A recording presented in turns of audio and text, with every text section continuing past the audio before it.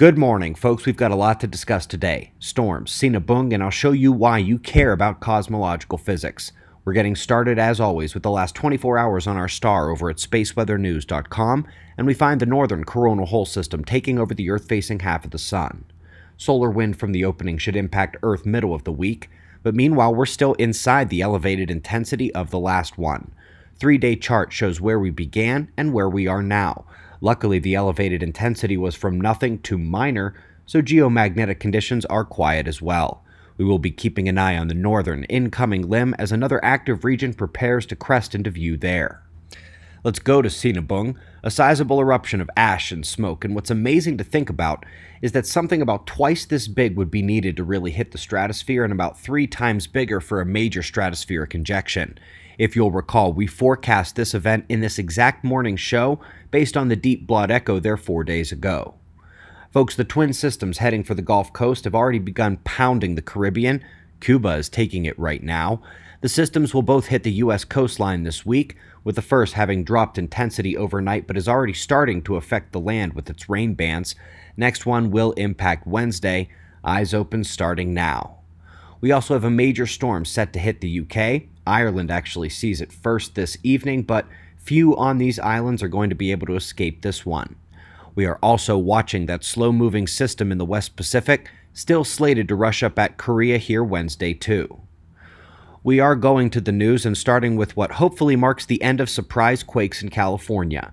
We have been on the precipice of that since we identified the foreshock signature the day before the 2019 Ridgecrest 7 pointer, and now they are showing that these patterns can be smoked out in numerous ways. Indeed, the foreshock patterns are more important for the US West Coast than any of the atmospheric signal precursors. 10 points for that team. Up next, we're going out to TRAPPIST 1, the Jupiter like system that contains a dwarf star and seven planets. A few of them are very Earth like. They have suggested habitability potential on planets D, E, F, and G, but have recently backed off of D due to stellar flares and radiation. Meanwhile, they have confirmed the presence of tons of water on the others, and today they are further investigating the habitability potential based on that stellar radiation, and are concluding that even planet E may be too close. They do qualify that statement by suggesting that UV resistant life could take it, and also things under the vast oceans on these worlds could take it too. And that, of course, brings up my number one complaint about TRAPPIST 1 habitability discourse. Why not Planet H? It's covered in ice, but that's perfect shielding for its underground ocean. TRAPPIST 1H is my best bet for microbes cocooned in its icy shell. Quick look up next at star clusters embedded in a cosmic filament. They find the magnetic fields often running along these filaments and into the star forming regions.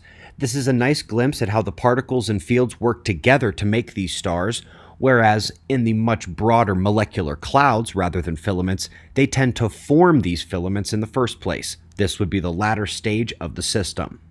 Heading out to the meeting of hot and cold, what happens when a cold cloud meets hot nuclear wind in the astrophysical plasma environment? Most importantly, however, is the use of magnetic fields in their models, helping to account for what they couldn't account for before. Magnetic fields enhance vision once again.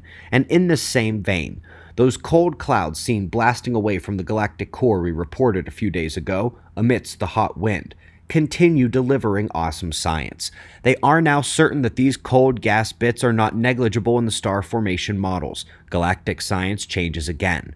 But more importantly, they still don't know what that cold gas is doing there or where it came from.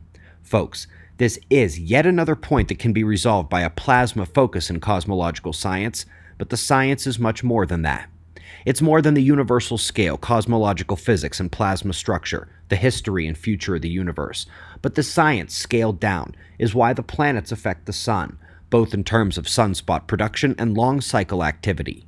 This is how space weather is much more than an auroral stimulus with the magnetic interface, but how it can work the crust, help trigger massive earthquakes, and even give away their signals beforehand.